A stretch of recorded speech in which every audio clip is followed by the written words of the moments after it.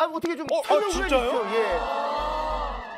저는 그냥 그 애초에 뭐 돈 보고 접근한 거예요, 이거 뭐예요? 참 어쩐지 이거 어쩐지 아니 참. 어떻게 된 겁니까? 아니, 집사람 처음 만나 연애할 때는 몰랐다가 몰랐고. 한 보름 정도 지나서 그래도 궁금하잖아요. 학교 선배긴 하지만 그래서 같은 의국에 제 동기한테 한 물어봤어요. 어떤 어, 분인지. 집안이 어떤지 쓱 네. 물어봤죠. 어. 그랬더니 다이아몬드 수준. 어, 어느 정도의 다이아몬드라면? 어느 정도예요? 아니 그때 그 제 친구 말이 아무튼 뭐 대구에 어. 집이 단독 주택이 있는데 마당만 800평이래요. 연못도 있고 뭐 민속촌 아니고? 그러니까 개인 주택인데요. 아, 그럼 저기 그 누가 그렇게 부자입니까? 뭐 아버지, 할아버지 누구예요? 저희 이제 에, 할아버님이 그 대구에서 대구일보라고 하는 언론사 어, 자주 지역신문, 네. 하셨고 이제 그때 이병철 씨하고 어. 제일모직 제일합섬을 같이 시작하셨었고요.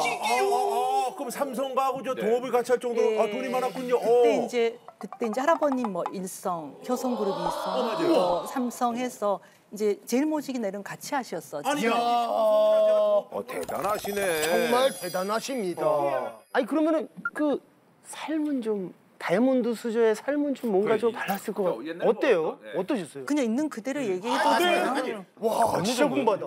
그냥 제 기억으로 건평은 한 200평이 됐던 것 아우, 같아요. 이제 들어가는 입구는 어, 왜 미녀와 야수의 그 철문처럼 음, 그치, 정말 그치. 굉장히 높은 철문을 열고 들어가면 집이 있고 이제 별채는 옛날에는 이제 신모 음. 바느질만 하는 분이 있고 그 다음에 이제 집을 돌보는 뭐 집사 그 아저씨나 있었고. 뭐 기사분들도 한 두어 분 계시고 또 이제 그 저희를 키우는 보모라고 보모. 하죠. 뭐 그런 분들. 저희가 음식을 먹는 공간에서 이 부엌까지 굉장히 거리가 멀어요.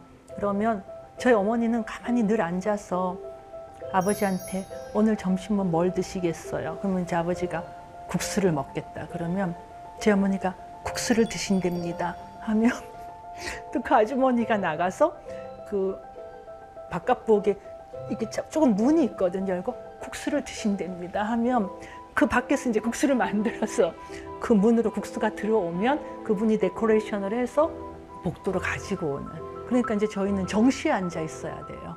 정해진 시간에 산책하고. 예, 그리고 친구 집이라는 데는 못 간다. 버스를 타고 학교를 못 가게 하고 기사분이 학교 앞까지 딱 내려줘요. 그거 끝나면 기사분이 기다리세요. 그러니까 지금 우리가 이제 흔히 얘기하는 그 재벌가 쪽 어떤 그런 느낌하고 거의 맞아요. 비슷하다고 이제 볼 수가 있겠네.